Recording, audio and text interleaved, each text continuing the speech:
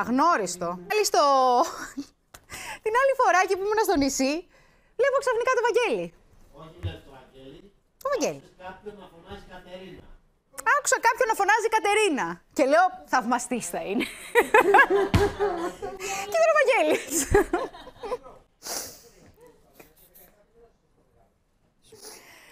Αχ, Θεέ μου. Δημητράκη μου, πάμε.